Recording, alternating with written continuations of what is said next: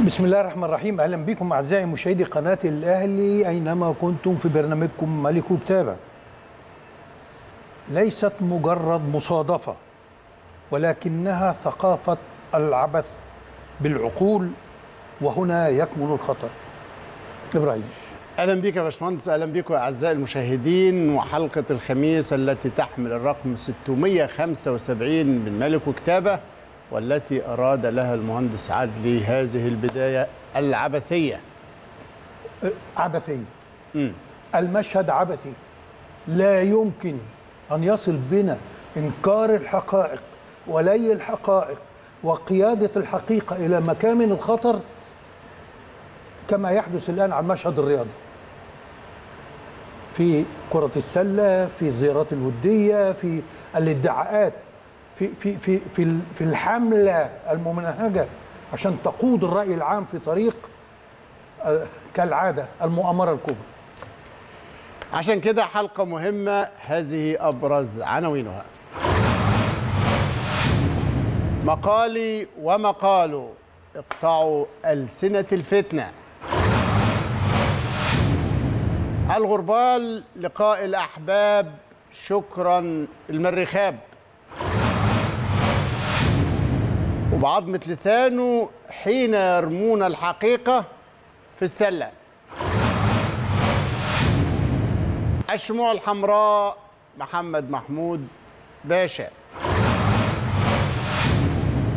أسرار الملك فيليكس الصفقة الذهبية. وأخيرا مجلتنا اليوم ومن أربعين سنة. ده المحتوى اللي بينه هذا الرابط اللي المهندس عدلي إشار إليه في البداية لكن دايما وابدا ضربة البداية كما تعودت. مقالي ومقاله اقطعوا ألسنة الفتنة. خير. كل ده لا علاقة بال- باللي أنا بقوله. مم. مباراة في كرة السلة يا أستاذ إبراهيم. في نظام أنت هتناقشها بالتفصيل بعد كده؟ في فقرتها أيوه. خلينا ألسنة هذه نموذج آه. إنك تاخد الحقيقة في اتجاه مخالف وعكسي تماما. تمام. تماما. عشان تصل بها إلى نقطة تريدها باستمرار. أن هناك تحامل على ناد ما وتحيز لناد آخر. والحقيقة الأمر معكوس تماما. هنقول لك الحقيقة دي. الحقيقة رموها في السلة. هنرجع لها. لكن اقطعوا ألسنة الفتنة. أيوه ما أنا هقول لك بقى. الأسبوع اللي فات. أيوه ما أنا اتفضل. الأخرى أيوة. الأخرى مم. زيارة ودية راقية رياضية تؤخذ من سياقها ويتعمل لها إشاعة علشان إثارة الفتنة يحتضنها. إنك توصل ان بعض النواب يحتضنوا هذا الأمر. في لا مس... السابق لو سمحت. لا مش عارف هو موجود في البرلمان لا، دلوقتي؟ سابق- سابق. سابق. آه. هذا كلام لا يمكن قبوله. هذا تحريض مباشر. اولا تحريض ضد النادي الأهلي وتحريض الجماهير على بعضها وتهديد بالتلويح بما إن فاكرين اللي حصل في بورسعيد فاكرين ما يحدث الإسماعيلي هتعملوه. تقصد شخص اسمه الحاجة البدرشيني. شوف مم. أنا ما بحبش يعني طالما انك ذكرت الاسم انما هو طبعا لأنه تحريض مباشر للأسف. لا ده هو ده هو يعني أنا مستغرب كيف سمح آه، له أن يقول مثل هذا الكلام. هو أنا أعرفه من أيام مجلس الشعب. التقيته أكثر من مرة في مناسبات تخص النادي الأهلي. لا هو راجل كاره للأهلي تماما. كاره. ويجاهر بهذا. يعني مش آه، هو كان لعيب في النادي الأولمبي ولعيب في الاتحاد السكندري. على ما أعتقد يعني على ما أتذكر. ولكنه لا مش مشكل مش ممكن أن تتخيل الأمر يصل إلى هذا الحد. وهنا لابد أن يكون في وقفة وقفة آه، لأن إحنا كده بنعبث بالعقول. ده اللي أنا بقوله. أصبح العبث بالعقول تجارة رائجة لأنها لقت صداها ولقت نجاحها وما زالت مستمرة. واهم من يتصور إنها ظاهرة وانتهت. ده بيتبناها آه، تلاميذ نجباء. اهو اديك شفت. ما يحدث وحتى حتى أنا مندهش من بعض الزملاء الاعلاميين ولاعيب الكرة السابقين الاعلاميين برضو اللي تجربتي معاهم مختلفة تماما عن اللي بيعملوه اليومين دول. وكأنهم يعني خلاص اللي يكسبوا يلعبوا أو قرب للناس من خلال هذا هذه المتاجرة في الحقيقة والكراهية. النادي الأهلي يتعرض لحملة ممنهجة لاختر... يعني تحويل الحقيقة عن مسارها. وده اللي أنا بقوله لأنه غزو ثقافي. أي النهارده الحروب كلها عبارة عن غزو ثقافي. روح غير ثقافة هذا المجتمع. وحط له اللي هو آه، آه، يعني ما كل ما يضر وكل ما يؤدي إلى تفتيته. ما يحدث في الرياضة يا جماعة عايزين نتنبه والله عايزين نتنبه لما يحدث. لأن والله أنا مستعجل مستعجل على نخش في الفقرات دي يا أستاذ إبراهيم. اتفضل. شوف المهندس عادل بيشير إلى الكلام اللي حدث على هامش أو حول زيارة الكابتن محمود الخطيب رئيس النادي الأهلي الإسكندرية. لأنه اتقال فيها كلام كتير جدا. زيارة فيها منتهى الحرص على العلاقة الحميمة جدا اللي بتربط النادي الأهلي بنادي الاتحاد. علاقة تاريخية أعتقد المهندس عادل يكلمكم فيها كتير جدا. وعلاقة الأهلي بالنادي سموحة برئاسه المهندس فرج عامر علاقة في منتهى الحميمية والود والاحترام المتبادل. العلاقة التلبيه أو الزيارة تلبيه زي ما أنتم شايفين كل المودة والحب والترحاب والحفاوة اللي كانت في استقبال الكابتن محمود الخطيب. لكن يبدو هذه الأجواء الطيبة قوي والحميمية قوي ضايقت مثير الفتنة. لا مش ضايقت خوفتهم. خوفتهم. طلعت بقى الكلام الكتير. اصله الأهلي جاي يقاسم الاتحاد في الشعبية بتاعت اسكندرية. الحق الأهلي جاي يفتتح فرع في الإسكندرية. الحق معرفش إيه. والكلام كتير اللي أنتوا شايفينه من تجار الفتنة وحمالة الحطب. دول حمالة الحطب بجد. دول اللي عايزين يولعوها. أنا مش عارف المجلس الأعلى للتنظيم الإعلام فينه من هؤلاء؟ فينه من هذه الممارسات اللي رايحة بشكل مباشر لاثاره الجماهير؟ ده كلام خطر جدا.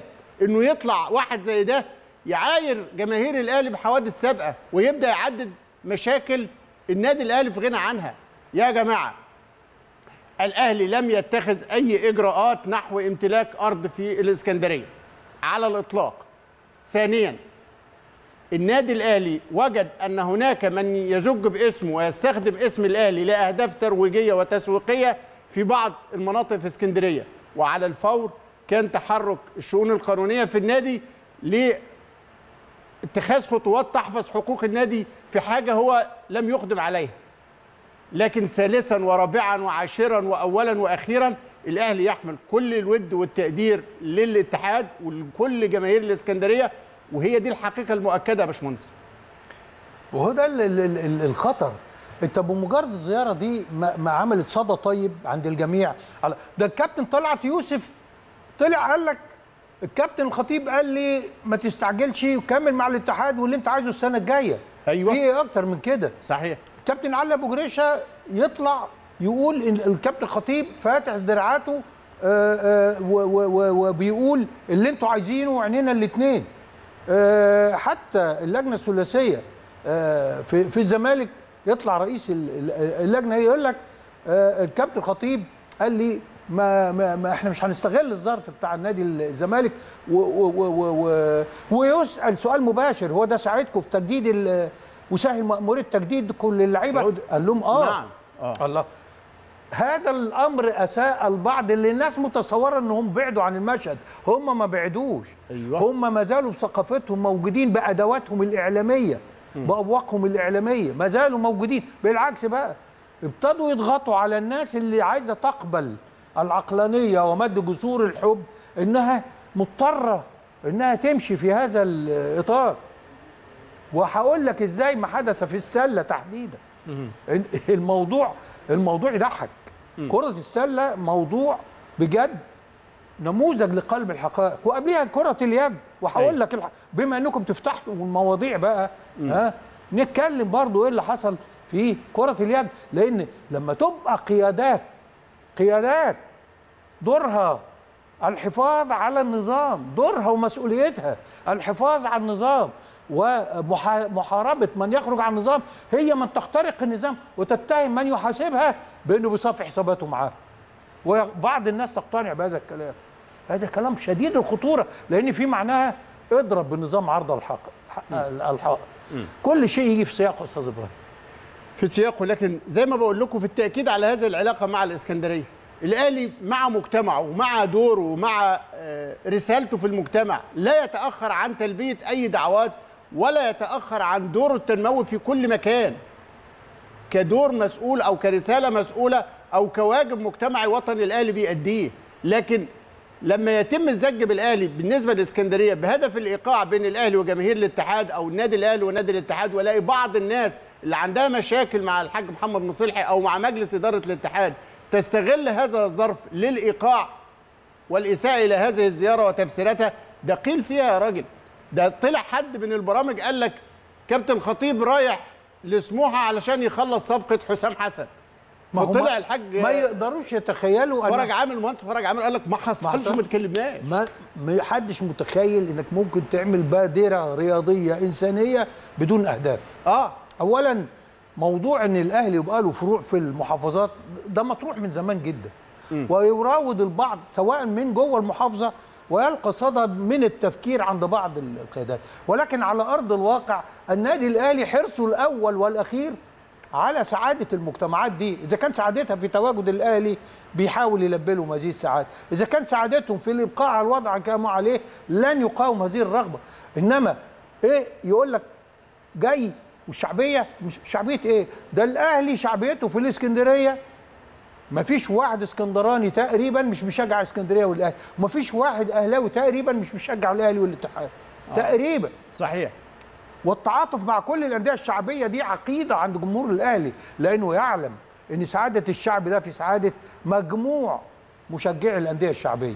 والأهلي دائما يلجأ إلى الأسلوب المباشر وانما هو خلي بالك ما تفصلش اللي حصل في السلة عن المشهد بتاع الزيارة دي. كل. كرسي طبعا خيط واحد. كل كرسي في الكلوب مش هيسمح لك تاخد لقطة تعبر عن كيانك الحقيقي وترحيب الناس بيه. عشان كده هنكشف كتير من اللي حصل ده النهارده. لكن خلينا افتكر إن الحلقة اللي فاتت الحقيقة وأنا بقرأ التويتة اللي كاتباها بنتنا الجميلة العزيزة هنا جودة. بطلة واعدة جدا في تنس الطاولة كتبت تويته برغبتها في المشاركة في دوره طوكيو. المهندس عدلي ودي الحقيقة اللي استوقفتني في التعبير عن إن دي أفكار مدرسة مش أفكار أفراد. ده نتاج فكر مدرسي بجد. فكر ينم عن ثقافة كيان وثوابت كيان. مهندس عدلي وانس ما قرا التويته أو سمعها انزعج. والانزعاج أدى إلى نتائج. إيه؟ ليه انزعجت؟ ما أنا بقول لك مسألة إنك أنت تتاجر بمصالحك وش... و... و... و... يعني ما في شك إن البنت سنها آه، يعني مديلها مديلها تعاطف أيوة. جامد جدا. أيوه. في المجتمع وعلى السوشيال ميديا وكل كلمة بتكتبها لكن إنها تنقل مشكلتها اللي هي محتاجة دراسة. أيوه. مش حق ضائع. حتى لو حق ضائع لازم تلجأ له من خلال النادي الأهلي الذي يستطيع أن يأتي اليها بالحقوق أيوه فتكتشف إن في الآخر المشكلة إنك أنت بتصدر بنتين لبعض أبناء بنات نادي واحد في مشكلة لا ينبغي أن تكون قائمة لأن بيحكمها نظام. هقول لكم إيه النظام فانا عشان اتضايقت إن دي تبقى تبقى أسلوب أسلوب اللجوء إلى حل المشاكل السوشيال ميديا. لا ده مش أسلوبنا. أيوه. وأنا عايز أعلم بنتنا من صغرها. لا خلي بالك. على فكرة هي كمان هنا كتبت تويته بعد ما انبسطت أيوه. ومامتها كتبت اعتذار وأنا انبسطت أيوة. لأن هو ده ده المفروض. أيوة. دي الثقافة اللي إحنا عايزينها. لكن لو حصل مكابرة كنا هيبقى عندك نموذج. ده اعتذارها اللي كتبته النهارده. أخشى إن يتحول النجم إلى عبء على ناديه. هي دي المشكلة. أو آه. يكبر على ناديه. وده بيحدث في أماكن أخرى. الوسط الرياضي بيدفع ثمنها النهارده. بيدفع تمام طبعا. وده كان الوقفة اللي هدفها الحفاظ على هذه الموهبة الكبيرة الموهبة صغيرة في السن لكن كبيرة قوي في القيمة الفنية والرياضية. كبيرة في الأمال المعقوده عليها. بالظبط. لكن عشان نحفظ لكل لاعبينا ولاعباتنا حقهم في الحلم لطوكيو. مين اللي تأهل؟ النظام ماشي. هقول لحضراتكم ب يعني بسبب خلاف مريم وهنا أو هنا ومريم. إيه ال- ال- جاية منين المشكلة؟ دورة الألعاب الأفريقية اتلعبت في المغرب 2019 دي الدورة المؤهلة للدورة الأولمبية يعني في تنس الطاولة. الألعاب الأفريقية كدورة هي اللي بتأهل لدورة الألعاب الأولمبية وبتتلعب كل أربع سنين زي الأولمبياد. اتلعبت في 2019 لكن تأهل منتخب مصر. كان مين في منتخب مصر اللي تأهل؟ كانت دينا مشرف ويسرى أشرف حلمي وفرح عبد العزيز. دينا مشرف لاعبه النادي الأهلي ومحترفه في ألمانيا دلوقتي.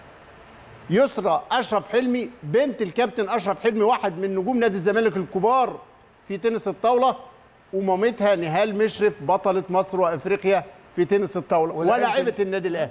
يعني بنت الكابتن أشرف حلمي لاعبه النادي الأهلي. وكانت الثالثه معاهم فرح عبد العزيز لاعبه نادي الزمالك.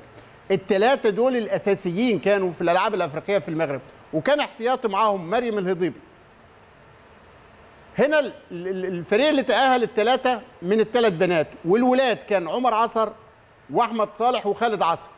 عمر عصر لاعب النادي الأهلي ومحترف وأحمد صالح لاعب الزمالك وخالد عصر لاعب النادي الأهلي. وكان معاهم احتياطي الرابع محمد البيالي. ده اللي تأهلوا لدورة الألعاب الأفريقية.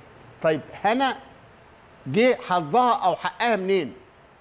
هنا عملت كطفلة معجزة بجد عملت السنة اللي فاتت والسنة دي إنجاز كبير جدا. تمثل في إيه؟ بطولة الجمهورية. تعامل اتحاد تنس الطاولة نظم بطولة الجمهورية مرتين يا باشمهندس. مرة طلعت هنا جودة الأولى ومريم الهضيبي الثانية وفي بطولة طلعت مريم الهضيبي الأولى وهنا جودة الثانية طبعا إحنا بنتكلم على إنه دول الاثنين سبقوا يسرى أشرف حلمي وفرح عبد العزيز. لكن دينا مشرف محترفة بره في ألمانيا فلا يسمح لها ان تلعب في نادي هنا في مصر حسب احترافها في ألمانيا. كانت النتيجة إنه أنت عندك دلوقتي اتنين في بطولة الجمهورية تصنيف أول. القاعدة الأصغر سنا في حالة تساوي بترجح. فهنا جودة أصغر سنا من مريم الهضيبي فبقت مريم الهضيبي برضه عندها 18 سنة مش كبيرة يعني. آه فبقت المسألة دلوقتي ده التصنيف المحلي. لكن مين اللي تاهلوا للألعاب الأفريقية؟ تأهلت دينا ويسرى وفرح عبد العزيز. وتأهل عمر وخالد عصر وأحمد صالح. لغاية دلوقتي ما تمش حسم اختيار مين اللي هيمثل مصر في الألعاب الأفريق... ال- الأولمبية. لأنه الدورة اتأجلت بسبب كورونا. لو كانت اتلعبت السنة اللي فاتت ما كانش فيه سبب للخلاف أو للطموحات بين كل اللاعبات وال- وال- والولاد.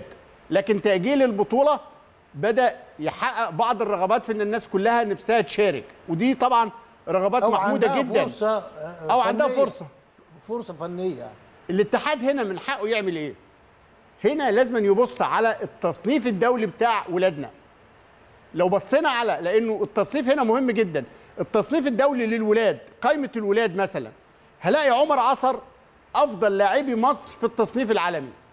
ترتيبه العالمي عمر ل 42 دي قائمة التصنيف العالمي للولاد. عمر عصر في ال 42 أحمد صالح لاعب نادي الزمالك في الترتيب ال 50 وخالد عصر في ال 124 محمد البيلي كبديل معاهم جاي في ترتيبه 196 يبقى هنا الاتحاد لو هيجي يختار هيحاول أو من حقه أو عليه إنه يختار الأعلى تصنيفا وهقول لكم ليه والمهندس عادل هيقول لكم ليه الانحياز للأعلى تصنيفا يخدمنا في إيه. ده بالنسبة للولاد بالنسبة للبنات.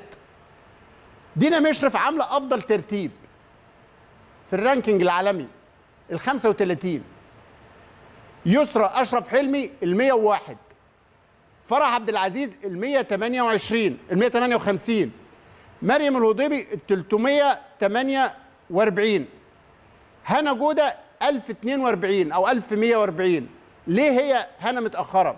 لأنه اولا لسه صغيرة ما شاركتش بالتراكم في البطولات الأفريقية والدولية اللي سبقوها ليها زميلاتها الكبار التانيين. دول أكبر سنا فده تصنيف متراكم. إن شاء الله تعالى هنا جوده عندها المستقبل بإذن الله كبير إن تروح لأبعد ما يمكن في التصنيف. لكن ده التصنيف الحالي. الاتحاد لما يجي يختار لما يختار الأعلى تصنيفا ليه يا باشمهندس؟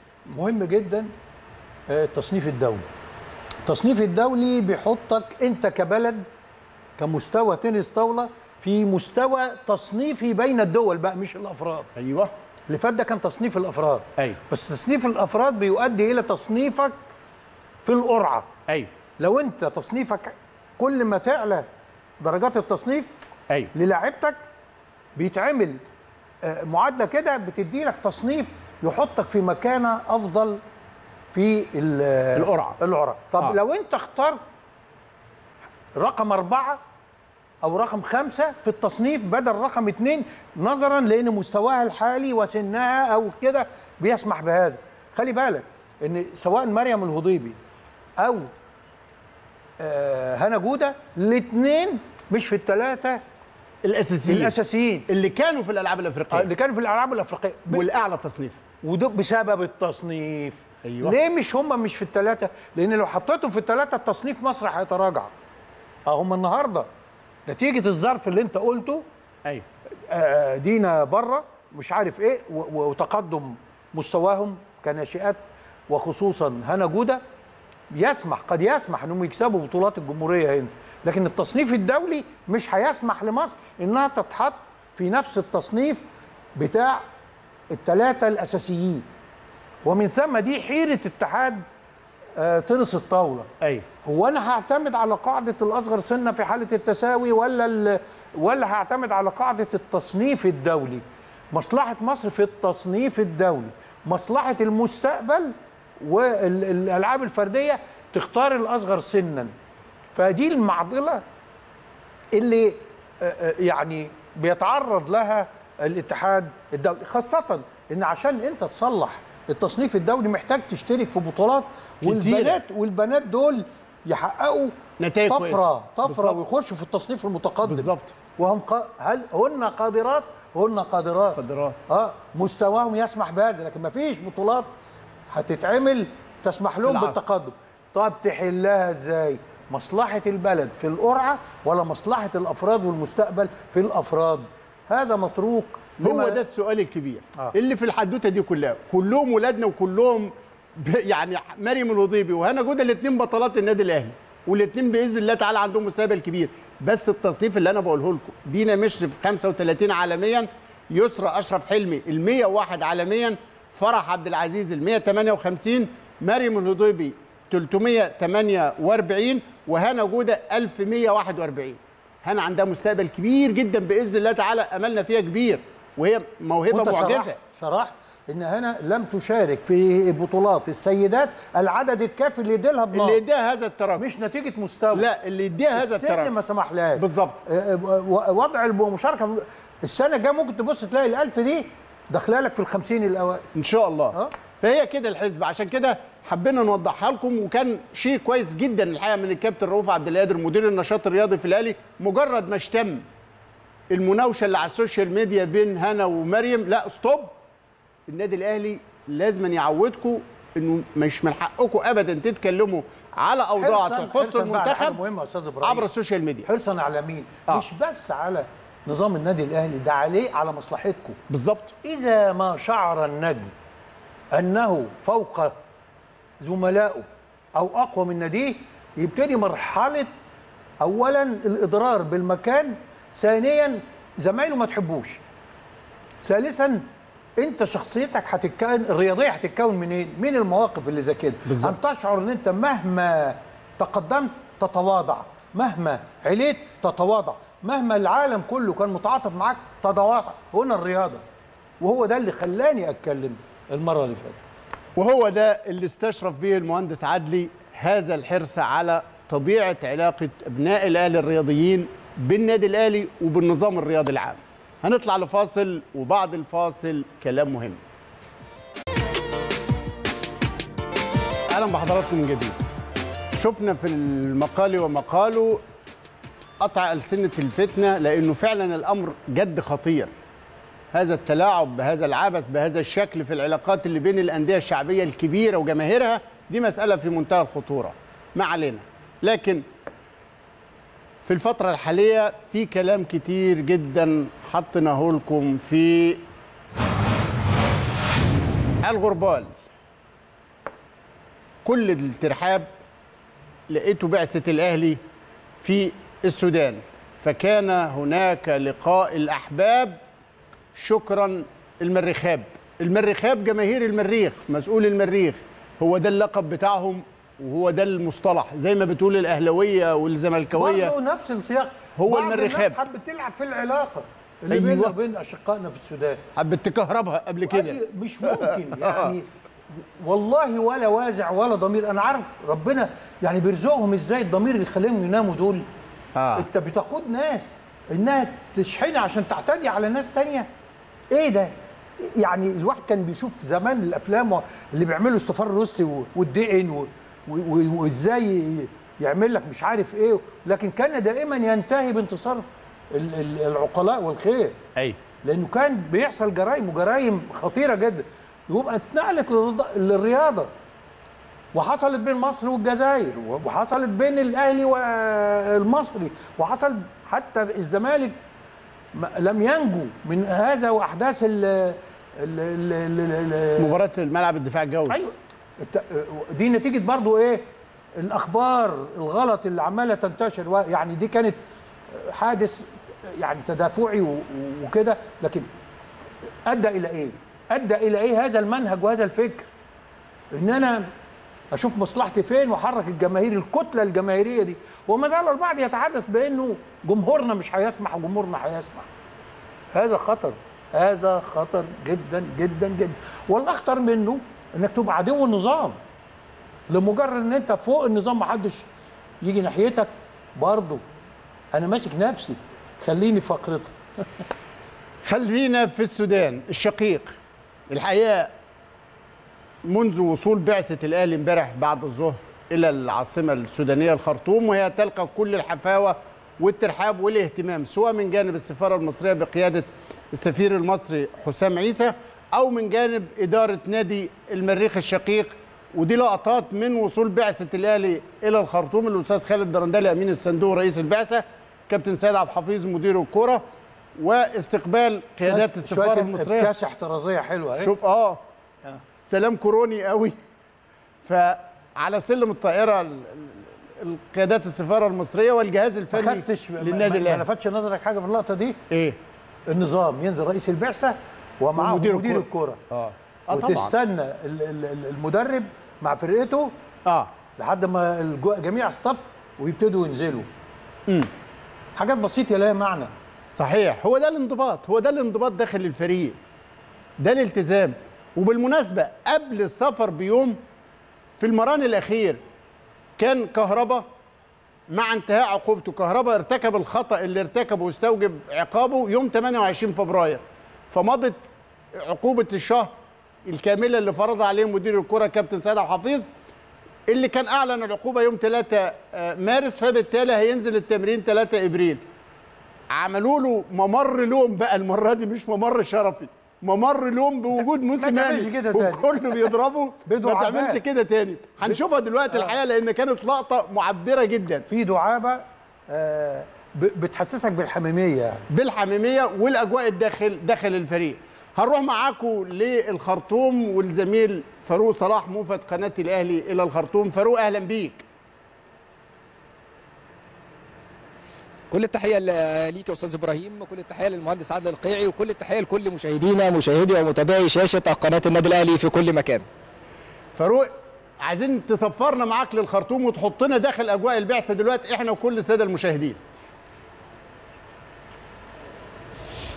يعني أنا عايز آخد من كلام حضرتك أستاذ إبراهيم لما اتكلمت على حفاوة ال- الاستقبال واستقبال فريق النادي الأهلي اللي بيحظى بحفاوه استقبال يعني كبيرة جدا لدى وصولنا لمطار الخرطوم. طبعا كان في استقبال لفريق النادي الأهلي معالي السفير حسام عيسى سفير جمهورية مصر العربية بالسودان وأيضا علي أبشر نائب رئيس نادي المريخ اللي صمم على استقبال النادي الأهلي في الصالة الرئاسية التشريفية اللي هي صالة كبار الزوار. لدى خروجنا كان في يعني فوج كبير جدا من جماهير النادي الأهلي اللي كانت حريصة إنها تكون موجودة في المطار الخرطوم لمساندة ومؤازرة النادي الأهلي. الهتاف الأول كان اهم أهم أبطال أفريقيا هم ثم الهتاف الآخر أفريقيا يا أهلي. دي طبعا أنت عارف يا أستاذ إبراهيم والمهندس عدلي العقيده اللي عند جماهير النادي الأهلي سريعا بنحتفل بالبطولة ثم بنفكر في البطولة ال- العاشرة. ثم يعني ال- المطار من المطار للفندق الاقامه يعني مسافة 25 دقيقة. سريعا يعني استقل لاعبي النادي الأهلي وتوجه فريق النادي الأهلي إلى ال- ال- إلى فندق ال- الإقامة. طبعا كافة الترتيبات وكافة الأمور الإدارية الخاصة بالفريق كانت يعني بتسير على قدم وساق ومتابعة مهمة جدا بين الأستاذ خالد الدرندلي رئيس بعثة فريق النادي الأهلي مع معالي السفير حسام عيسى. آه، ثم بقى نقول بدأ اليوم الثاني للنادي الأهلي اللي هو اليوم. النهارده يعني انطلق اليوم بوجبه الإفطار للاعبي النادي الأهلي. كانت في تمام الساعة العاشرة والنصف صباحا. ثم محاضرة فنية لمستر بيتسو موسيماني كانت في تمام الساعة الثانية والثانيه عشر آه، ظهرا. وكان آه، يعني قبل المحاضرة كان في المسحة الطبية يعني طبقا للبروتوكول قبل المباراة ب 48 ساعة. ثم توجه الفريق إلى ملعب آه، الجوهرة الزرقاء اللي استضاف تمرين النادي الأهلي. هو التمرين الأخير أو الأول والأخير لفريق النادي الأهلي على ملعب الجوهره الزرقاء كان في تمام الساعة الواحدة. عايز أقول لك يا أستاذ إبراهيم إن درجة الحرارة يعني تقدر تقول درجة الحرارة عالية جدا. انت بتتكلم في درجة حرارة 35 38 درجة مئوية ودي من الأمور الصعبة جدا ارتفاع درجة الحرارة. لكن نقدر تقول تقول نسبة الرطوبة ونسبة ال- الأكسجين أفضل بكتير جدا من مباراة ال- الكونغو. مران أكثر من رائع النهارده للاعب النادي الأهلي مستر بيتسو موسيماني طبعا بيقف على بعض الأمور الفنية الخاصة بال- بالفريق أو التشكيل اللي هيلعب بيه ال- اللقاء. طبعا جرب كل اللاعبين جرب أكثر من طريقة لعب. طبعا هو تابع يعني خلال الرحلة من من مطار القاهرة حتى مطار الخرطوم كان بيتابع كل المباريات الخاصة بفريق المريخ السوداني. أيضا مباريات في في الدوري الدوري السوداني. تقدر تقول أطمنك إن شاء الله على حالة اللاعبين. اطمنت من الدكتور أحمد أبو عبلة على حالة عمرو السولية وأيضا محمد الشناوي يعني بعد مشاركتهم في المباراة المنتخب المصري. هنا أيضا حديث وسائل الإعلام في السودان عن المباراة وعن أهمية المباراة لفريق المريخ السوداني والاستضافة النادي الأهلي وأن النادي الأهلي أحد كبار القارة الأفريقية. كانت جريدة صدى وجريدة النهار أبرزت الكثير من العناوين والأحاديث الصحفية لمستر بيتسو موسيماني واتكلموا على إن بيتسو موسيماني واحد من المدربين اللي يعني ليه يعني أصحاب تأثير جدا وخبرة ودراية كبيرة جدا بالقارة السمراء وأجواءها وظروفها. دي أقدر أقول لك إن هي كل الكواليس كل الأخبار. أنا موجود معاك يا أستاذ إبراهيم موجود معاك يا باشمهندس لو في أي استفسار أو أي تساؤل. فاروق الفريق اتمرن النهارده على ملعب المباراة مش كده؟ بالظبط يا أستاذ إبراهيم المران ال- الأول والأخير على الملعب ملعب إيه؟ الجوهرة الزرقاء. الملعب. ملعب طبعا الملعب أنت عارف لا هو أفضل الملاعب الموجودة في في السودان عامة هو ملعب الجوهرة الزرقاء أفضل الملاعب. حالة الملعب تقدر تقول كويسة نسبة يعني ال- الكثير من الملاعب الموجودة لكن الملعب اللي هيتمرن عليه النادي الأهلي غدا هو طبعا أقل بكتير جدا من ملعب ال- المباراة. طبعا ملعب الجوهرة الزرقاء ليه ذكريات سعيدة مع النادي الأهلي. النادي الأهلي كان الموسم الماضي صعد من آه، من الملعب الجوهرة الزرقاء وإن شاء الله يعني يحقق إن شاء الله الانتصار في هذا اللقاء. ومن ثم إن شاء الله تحقيق البطولة العاشرة بإذن الله. طيب المسحه مسحة الكورونا الخاصه بالاتحاد الأفريقي نتيجتها ظهرت ولا لسه؟ لا حتى الآن هيتم إبلاغ فريق النادي الأهلي غدا إن شاء الله بالمسحة الطبية لفريق النادي الأهلي إن شاء الله يتم الإبلاغ بالمسحة غدا بمشي- بمشيئة الله وطاقم التحكيم منين؟ يعني عايز أقول لحضرتك طب بالنسبة لطاقم الت- التحكيم آه، يعني قبل يعني هقول لحضرتك طاقم التحكيم ثم هيكون معايا في هذه الأثناء الأستاذ خالد الدرندلي رئيس بعثه فريق النادي الأهلي. حكم اللقاء هو الإثيوبي بملاك تسيميا بيعاون عيسى يحيى من تشاد والحكم الثاني أوبليك أوكيلو من أوغندا والحكم الرابع آه، توبريس آه، إيريك إيريك توبريس من آه، من من إثيوبيا. أنا معايا في هذه الأثناء الأستاذ خالد الدرند- الدرندلي رئيس بعثة فريق النادي الأهلي. هيحطنا ويقربنا من الصورة أكتر ويطمنا على كافة الأمور. أستاذ خالد تحيات الباشمهندس عدلي القيعي والأستاذ إبراهيم المنيسي وكل مشاهدينا مشاهدي ومتابعي شاشة قناة النادي الأهلي في كل مكان. تحياتي الكابتن عدلي وكابتن إبراهيم آه، ونفسنا كانوا يكونوا معانا. إن شاء الله المرة الجاية كده نحتفل مع بعض بإذن الله. إن شاء الله يكونوا موجودين بقى في في بطولة العالم وكأس العالم للأندية بإذن الله. إن شاء الله. عايزين نطمن ونطمن كل جماهير النادي الأهلي على حالة الفريق وأنا عارف إن في خطوط اتصال مفتوحة مع ال- الكابتن محمود الخطيب على الفريق أيضا الدور الكبير جدا اللي بيقوم بيه معالي السفير حسام عيسى. بص هو من أول ما وصلنا الحقيقة آه، بنشكر معالي السفير لاستقباله وبرضه مش آه، استقباله بس ده كل طاقم السفارة. وبنشكر نائب رئيس آه، نادي المريخ بنفسه كان واقف مستنيين الحقيقة في في في المطار وفي عند الطيارة وفتحوا لنا كبار الزوار. يعني الحقيقة كان استقبال مشرف وحافل يليق بالنادي الأهلي. وبرضه ما ننساش إن إحنا برضه قمنا باللازم برضه في مصر. وده بيردوا ال- اللي إحنا قمنا بيه وده المتوقع ما بين آه، إحنا إحنا بلدنا. يعني إحنا مبسوطين ما في ما ما فيش أي عقبات بتقابلنا. كل شيء آه، سهل. كل شيء مرتب ومنظم سواء من السفارة أو من نادي المريخ. هي بجد يعني آه، كل حاجة ماشية زي الفل. آه، اللعيبة الحمد لله إن إحنا النهارده اتمرنا تمرين كويس. كل اللعيبة حالتهم كويسة كويسة. عملنا المسحه النهارده الصبح. ان شاء الله بكرة هتبان النتيجة بإذن الله ما فيش أي حاجة إن شاء الله يعني. آه، في إصرار وفي روح حلوة في يعني آه، عايزين نرجع إن شاء الله بثلاث نقاط بإذن الله إن شاء الله. خطوط الاتصال من الكابتن محمود الخطيب اللي أكيد بيتابع مع حضرتك كافه تفاصيل الفريق ب- بعثة فريق النادي الأهلي. حطنا في الصورة ويعني الرسائل اللي بيبعتها الكابتن محمود الخطيب من خلال حضرتك للاعيبه النادي الأهلي. هو طبعا أول حاجة الصبح طبعا بستقبل تليفون الكابتن محمود. آه، اطمن على يعني كل حاجة عملتوا إيه هنا عملتوا إيه التمرين الساعة كام رايحين آه، ال- الملعب إيه بكرة ال- ال- الترتيبات الإقامة. يعني أنا طمنته بكل حاجة ماشي فعلا الحقيقة الحمد لله كل شيء ماشي كويس جدا. زي ما بقول لك إحنا آه، يعني كفاية إن إحنا كل الفرقة وكل البعثة حاسة إن إحنا مش مش في غربة يعني. فالحمد لله الناس كويسين جدا الناس معانا كويسين جدا. ويعني إحنا متفائلين إن شاء الله. درجات الحرارة ودرجة الحرارة عاليه جدا. شايف تأثيرها على المباراة وعلى اللاعبين هتكون إزاي؟ بص هو طبعا في في درجة حرارة عالية 35 36 يعني. ولكن عايز أقول إحنا تعودنا بقى خلاص. ومرينا بحاجات أكتر من كده ومرينا بأكسجين أقل من كده. فلعبتنا خلاص متمرسين وعندهم خبرة الحاجات دي ما بتأثرش آه، ولا بت... بتفكر ما بفكرش فيها. يعني إن شاء الله بس إن إحنا نفكر في في المباراة تكون مباراة كويسة. بغض النظر بقى إحنا ما بنقولش يعني خلي بالك إحنا أنا حاسس إن المباراة بغض النظر الثلاث نقاط ما فيش عصبية ما فيش تعصب. الناس معانا النهارده في ال في ال في التمرين في منتهى الترحاب يعني آه يعني إحنا مش مش داخلين معركة. آه فريق كبير الأهلي فريق كبير المريخ فريقين كبار كل واحد بيسعى إنه يفوز بس بروح رياضية. ومن غير تعصب آه، من غير يعني حاجة تخرج عن النص. بالعكس الأمور كلها كويسة جدا. حتى في الفندق هنا من بيشجع المريخ ومن بيشجع الهلال وبيشجع الأهلي؟ كلنا الناس قاعدين بنضحك وبنتكلم. الموضوع قريب جدا يعني. أستاذ خالد جلساتك مع الجهاز الفني كابتن سيد والكابتن سامي واللاعبين آه، إيه اللي لمسه؟ إيه اللي حسه من اللاعبين؟ طبعا إحنا خلاص نسينا البطولة التاسعة دلوقتي مطالبين بالبطولة 10 وده قدرنا قدر النادي الأهلي. بص عايز أقول لك حاجة برضو آه، إحنا في حاجة مهمة الناس عمالة تقول إحنا عايزين نكسب مش عارف إيه وده يكسب إيه عشان نلاعب مين وده يلاعب الأول وده التاني. إحنا بنفكر إن إحنا مجرد إن إحنا نطلع الأول آه، مش مش مجرد إن إحنا عايزين نلاعب فلان وما فلان إحنا النادي الأهلي نلعب أي حد. ما بنفكرش آه، نطلع الأول عشان نلعب بتاع ونتفادى. كلنا هنتقابل في الآخر طالما أنت بتلعب على بطولة يبقى ما بتبصش هتلاعب مين. لو ما عتبوش دلوقتي هتلعبوا قدام.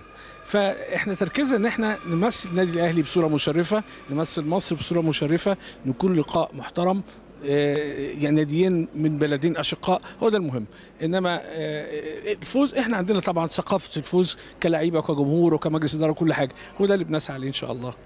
أستاذ خالد آه، باشمهندس أستاذ إبراهيم أنا موجود معاكم لو في أي سؤال أو أي استفسار آه، حابين توجهوه لأستاذ خالد البرندلي. آه لا إحنا عايزينه بس هو اللي يوجه يعني نحمله سلامنا للبعثة ونشكره على هذا اللقاء وعارفين إنه بخبراته هيكون يعني آه، داعم جدا وجوده للفريق فمتشكرين جدا وربنا يوفقكم يا رب.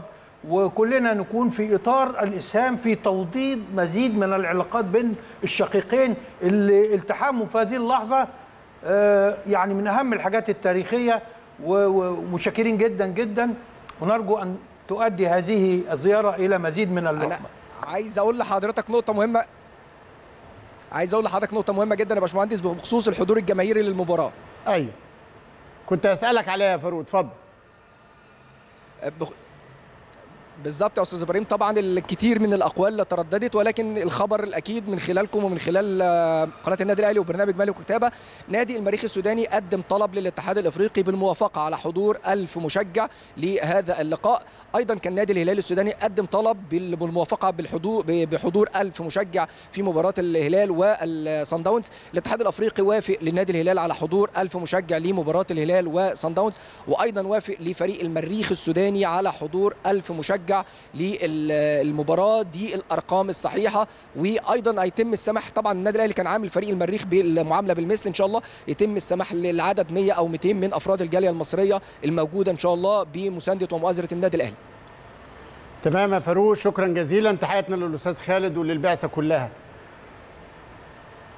شكرا جزيلا لموفد قناة الأهلي إلى الخرطوم الزميل فاروق صلاح أعتقد صورة كاملة. الصورة كاملة ورسالة يعني محترفة. لكن أنا كل اللي بيضحكني أجا إيه؟ أنا ما افتكرتك شفتش واحد بيخاف من المسحة أكتر منك غير أنا. أنا؟ آه. حاجة إيه الراجل يعمل له كده يفرك في عينيه. يعمل له كده. يعني حاجة. يعني يا رب. بص بص بص. بص ماشي. بص. ده هيجاني كان بيطلع عيني في خطر طب إيه؟ هو مش بيحط ال كان بيعطل- بيعطل يعني إيه يا ابني ده هو هيعترض بيقول له في مناخيري في مناخيري. ما تحطهاش في عينيا. طيب أهو أول ما هيقرب أهو. ده بالإيحاء. أول ما بيحس إن قربت من مناخيره بيتاكل. عموما دي كانت المسحة اللي الاتحاد الأفريقي بياخدها للبعثة وإن شاء الله تعالى زي ما الأستاذ خالد درندلي قال بكرة النتيجة تظهر وإن شاء الله كله يكون سليم وجاهز للمشاركة. هنطلع لفاصل وبعد الفاصل أيضا كلام مهم. أهلا بكم من جديد. الحقيقة بيتسو موسيماني بكرة وبعده مشغول. يعني إذا كان يوم السبت الساعة 3 مشغول بمتابعة أو بقيادة الأهلي بإذن الله لحسم التأهل. بكرة كمان أكيد هيكون مهتم يطمن على فريقه السابق سان داونز وهو بيحل ضيف جنب منه على طول في نفس الملعب. بيواجه الهلال السوداني في المجموعة الثانية في دوري الأبطال. لكن بمناسبة موسيماني يمكن اليومين اللي فاتوا لما منتخب جنوب أفريقيا خسر من السودان برضه وخرج من تصفيات كأس الأمم الأفريقية اهتمت مواقع كتيرة في جنوب أفريقيا بترشيح موسيماني للعودة لقيادة المنتخب الوطني. موقع بطولات قال الأصوات تتعالى جناح جنوب أفريقيا السابق بيقول اعيدوا لنا موسيماني.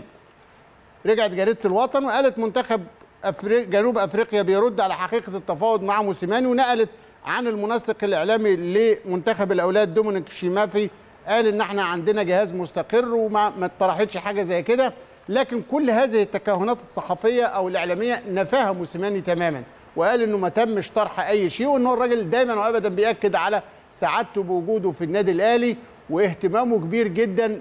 أهو موسيماني يحسف الجدل في الأهرام حول الرحيل على الاهلي وقيادة منتخب جنوب أفريقيا وبيأكد سعادته بالاستمرار. إياكش بقى يتقفل الملف ده؟ أشك. تشك. ما هو أنت هتفضل في هذا الكلام الغريب الذي ينال من لعيبتك وينال من آه، أجهزتك وينال من مصداقيتك وينال في علاقاتك مع الأندية الأخرى شيء غير محترم بالمرة وشيء لا يمكن يكون محض صدفة ولا بد من مواجهته بكل الوسائل وأولها معايير ال- ال- ال- الميثاق الإعلامي يعني. زي ما انت النهارده بتتكلم إحنا لسه الدوري ما اكتملش الموسم ومواقع تتكلم على مين اللي هيمشي من الأهلي ومين ضحايا الموسم. والأهلي بيفاض مين؟ سيبك من الكلام ده كله خلاص.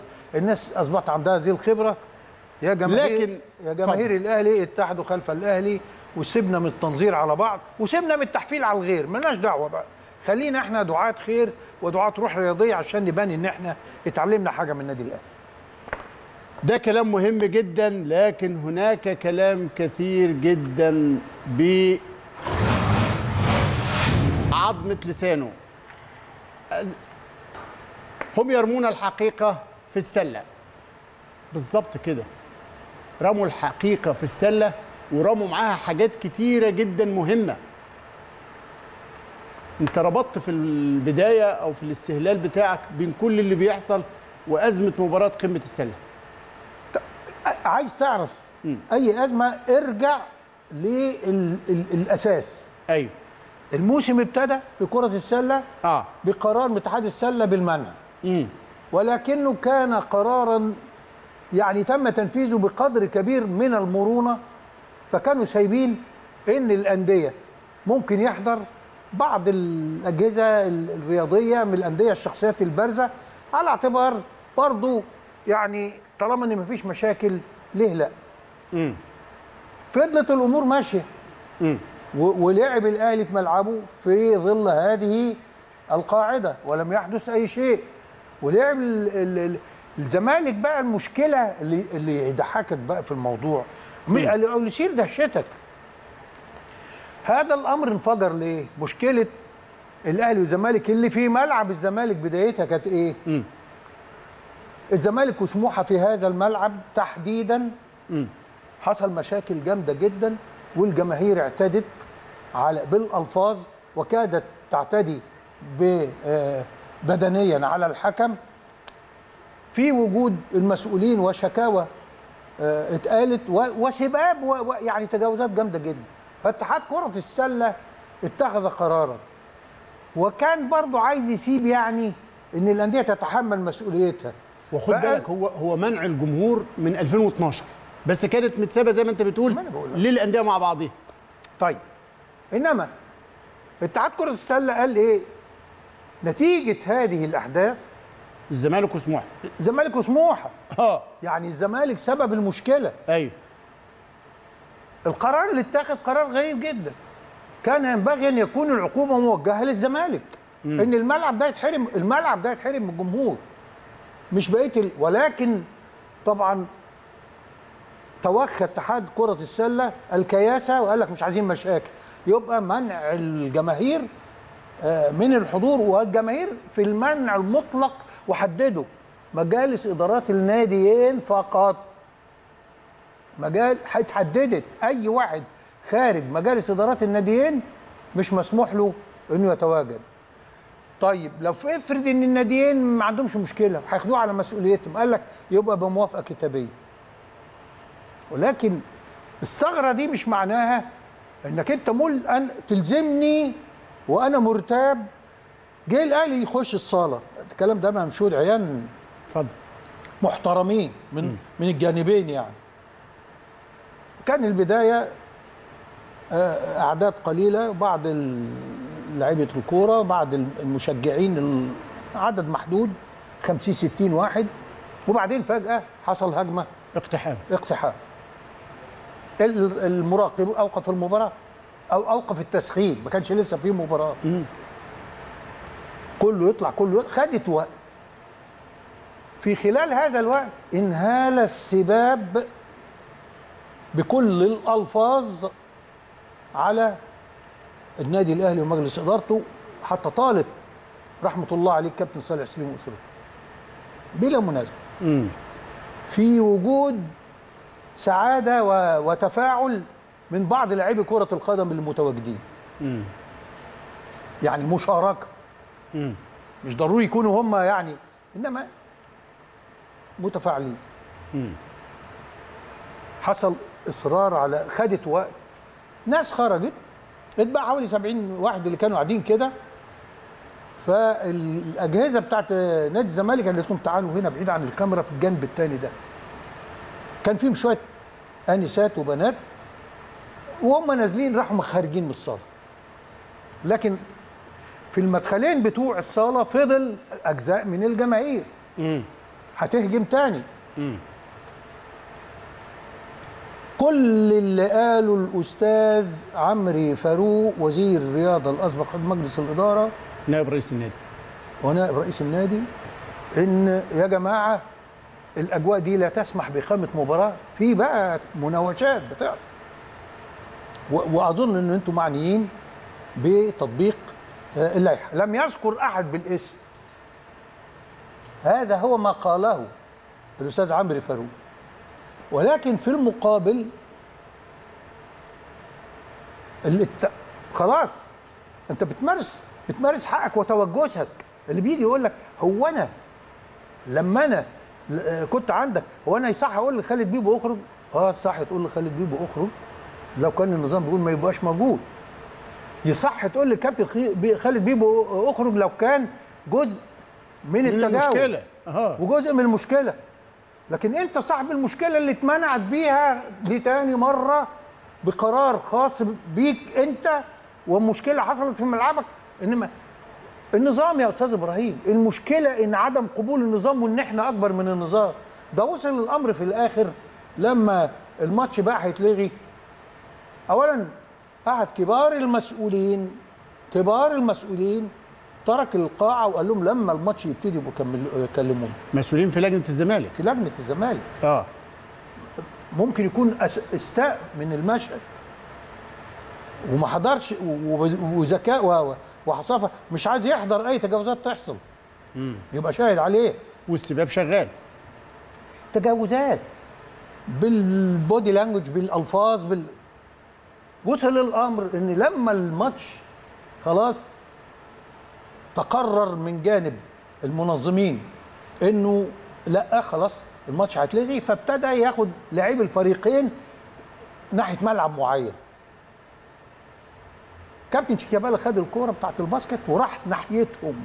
قال لهم وسعوا كده بقى أنا عايز أتمرن. عايز أتمرن؟ أيوه. للعيبة الأهلي؟ وقبليها آه. دار على المسؤولين في النادي الأهلي يقول لهم أنا لا أنا لا مش أنا. مش هخرج آه. أنا فوق النظام أنا فوق التعليمات أنا فوق أي حاجة.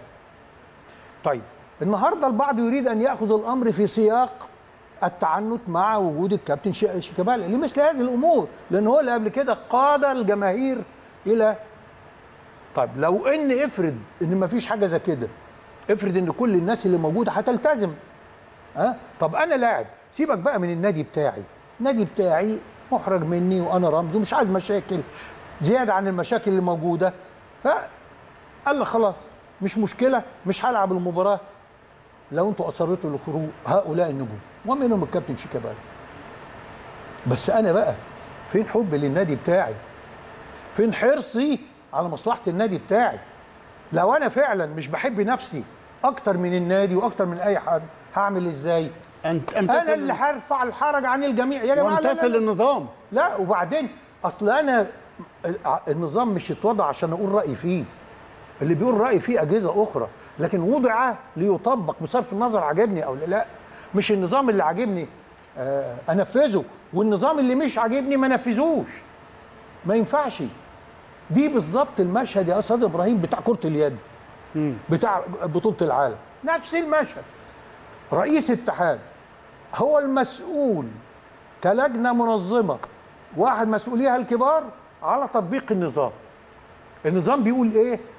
ما هو لما تبقى مش مصدق جدية النظام بتتصرف بالطريقة دي. العالم كله واخد الأمر جد إلا إحنا. الكورونا الفقاعة أول مرة أسمع الفقاعة في البطولة دي. أيوه. أنت عايز تبقى جوه الفقاعة ولا خارجها؟ لا عايز أكون موجود جوه الفقاعة. مش هتخرج. وأدي المسار مش يوم يت- يخرج. مرة. ينبه واثنين ينبه وثلاثة ومش يكتفي بأن هو اللي بيخرج وبيستدعي بعض من له بهم صلات إنه معاه ويرافقوه ويخشوا ويخرجوا. هذا نظام خطير على مستوى العالم. هذه خروقات كبرى. في واحد هو المسؤول عن تنفيذ هذا. يعني كان الأولى به أن ينفذ. لما يجي الاتحاد الدولي ياخد قرار لا دي مؤامرة عشان, عشان النادي الأهلي. وأنا ما كنتش هعلق إلا بالزج بالنادي الأهلي. مش عارف حتى وهو بيبعد هشام نصر من الاتحاد الدولي يبقى هو الأهلي. ما بقول لك. آه. بدل ما يقولوا إن العالم مهتم بجدية في هذا الأمر آه. بتصل لا يبقى الأهلي. دي بتصل لاستبعاد منتخبات من آه. مت- استبعاد لاعبين في كأس العالم للأندية. طبعاً، استبعاد طبعاً. الموضوع بدل ما تبقى أنت ال- ال- راعي تطبيق النظام لا انت بتبقى جزء من خرقه. والتهكم على أي جزاءات تيجي عليك نتيجة خرقك للنظام اللي انت مسؤول عن تطبيقه. انت شايف شايف المشهد عامل إزاي؟ يا جماعة والله أنا خاطب العقول. أنا ماليش دعوة بالمشاعر اللي عماله مضللة. وأنا يؤسفني يؤسفني تاني. الكابتن أيمن يونس بقيمته يطلع ياخد الموضوع في سياق غير كده. كابتن ميدو ولو إنه رجع تاني راجع نفسه وقال لي انت هتورينا الحاجات دي كلها. لكن يا جماعة هو إحنا هنوصل ان إحنا النظام اللي يعجبنا ننفذه واللي ما عجبناش ما ننفذوش وإذا طبق علينا يبقى مؤامرة ضدنا وتحيزا للآخرين. هو الأهلي بيقول لك هو هو لو كان نجوم الأهلي هتقدر تطلعهم هم هيطلعوا مش هيستنوني. إن أنا أقول لهم. وليه ما يطلعوش؟ وبعدين يعني لو لو النظام في يقول دولة يطلعوا ما في يطلعوا. ياخد في الوقت اللي كلنا نقعد نندج اللبان كده ونتشدق بما فينا المحترفين في الخارج يقول لك ده رئيس وزراء السويد لو كسر إشارة بيتاخد الغرامة وبيدفعها في ساعتها لكن لما يجي يطبق الكابتن- النظام عليك لكن الكابتن فلاني لا. أنا لا أنا لا. آه. اتعودنا على كده. دي ثقافة يا إبراهيم بت... هذه ثقافة تغزو عقول الصغار الآن. وتكون شخصيتهم ووجدانهم. أنت ليه انتفضنا؟ قدام تويتة كتبتها هنا جود نسبت إلى هل... هي مش ممكن تكون كتبت. نسبت إليها. وانتفض الأهلي قبل ما البنت دي يتزرع جواها ثقافة على الأهلي فكرة اتغرمت هي وهم الاثنين اتغرموا 10000 جنيه. عشان ردوا على بعض. آه طبعا. وكانت العقوبة ما فيهاش إيقافات وبتاع. آه. توفقا بان لا. دي دي أول. ودن صغيرة. آه، و- واستجابوا أيوه لكن لو تركت الأمور كده هتخلق هذا النموذج الذي لا يقبل إلا النظام اللي يجي لمصلحته أيوه مفيش حاجة اسمها نظام يجي لمصلحتي ما فيش حاجة اسمها نظام اطبق أطبق المعايير اللي هي تفيدني بعد النظام ما يطلع كل حاجة كده. نادي القرن أحط معايير يقول لو طبقت المعايير دي. طب إحنا عمالين نتكلم دلوقتي في التصنيف بتاع الاتحاد الدولي بتصنيف الاتحاد الإفريقي في كرة القدم كلها إيه النظام التراكمي. آه، مجموع البطولات. النقاط. ما بيقولوش اللي خد أكتر بطولات. آه. مين اللي عنده نقاط أكتر يبقى ده اللي في المقدمة. هذا هو النظام العالمي. فلا إحنا نحط النظام ده لأن النظام ده بيخدم فلان ده بتقولها إمتى؟ بعد ما تظهر النتيجة. مش بتقولها من بدري. إن أنا محت... بدليل إنك أنت قابل أن يطبق ويستمر النظام في القرن الواحد وعشرين ما بتحتاجش عليه لأنه أفادك رغم إنك مش متصدر يا أستاذ إبراهيم محدش بياخد القانون في إيده محدش بينفذ اللي يعجبه من النظام ويرفض محدش بياخد المجتمع إنه كل ما حد يجي يحاسبه لأنه بيكرهني لا لأنك خرقت النظام. بس أيوة. كده. أيوه. طب مين اللي حط النظام؟ زي ما المهندس عادل قال لكم في الخلاصة الدنيا كانت ماشية. يوم 20 مارس الزمالك وسموحة حصل الشغب اللي حصل من جمهور الزمالك. خد اتحاد السلة القرار. مش مسموح ابدا بحضور جماهير ومجلس إدارة الناديين والمدير التنفيذي. غير كده لا. ده القرار اللي اتاخد. لما حصل خرق لهذا القرار مين اللي خد قرار العقوبة؟ الاتحاد المصري لكرة السلة المنظم للعبة ولا حد تاني؟ الأهلي علاقته إيه بقى بالموضوع؟ إيه العلاقة بتاعت الأهلي ولم بهذا يؤخذ هذا الموضوع؟ القرار نتيجة شغب جماهير الأهلي. اللي أخذ القرار الاتحاد المصري لكرة السلة ونائبه الكابتن محمد عبد المطلب وده راجل نجم الإسكندرية الكبير السابق ملوش علاقة بالنادي الأهلي ولا نادي- رئيس الاتحاد. سبورتنج مش ممكن يجي يقول لك طب وأنا مالي أنا جمهوري عمل إيه؟ مثلا. أنت عاقبت كل جماهير على خطأ جماهير ما. تسألوا الاتحاد. ما حدش بيتكلم على مسؤولية اتحاد اللعبه صاحب القرار اللي عبر عنه الكابتن محمد عبد المطلب. في اون تايم سبورتس نشوفه طبعا القرار آه، اتطبق بناء على تقرير مراقب المباراه لرئاسه اللواء يحيى زكريا وبعد الرجوع للوائح وتم اعتماد القرار من مجلس إدارة الاتحاد. خلاص آه، آه، اعتماد فوز الأهلي هزيمة الزمالك تغريم نادي الزمالك 30000 جنيه ونقل مباراة خارج ملعبه. تمام. طيب دلوقتي القرار بهزيمة نادي الزمالك. نعم. هياخد نقطة الهزيمة ولا مش هياخدها؟ هياخدها. هياخدها. طيب.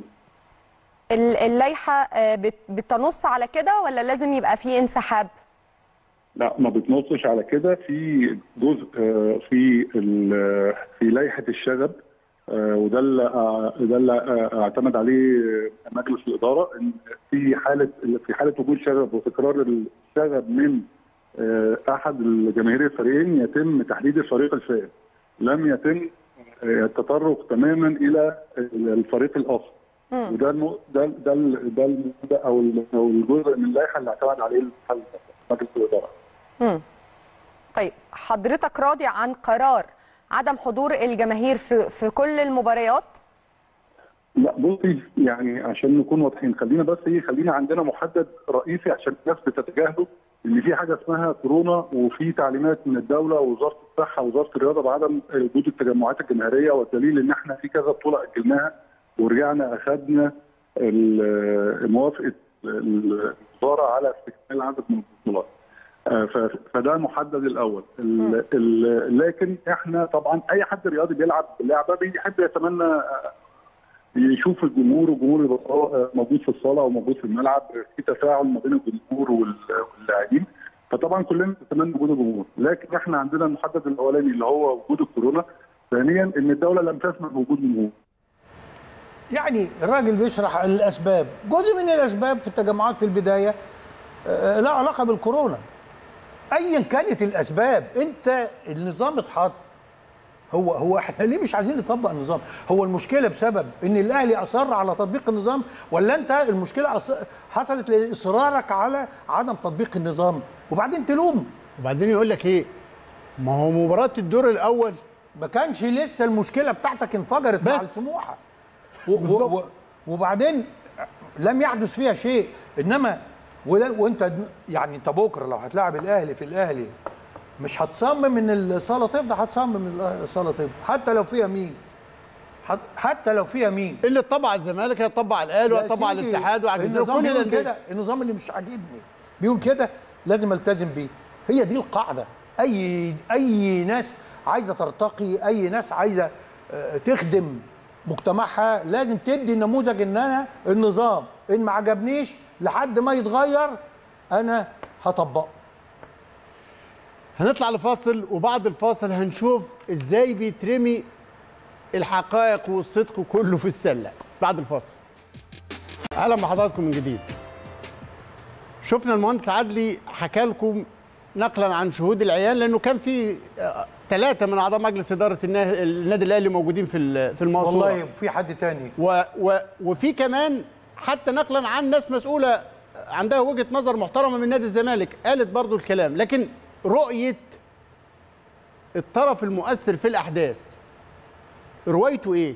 اللي كتب التقرير واللي رصد الواقعة واللي أثبت المخالفة واللي بموجب كلامه وشهادته الاتحاد أخذ القرار هو مراقب المباراة.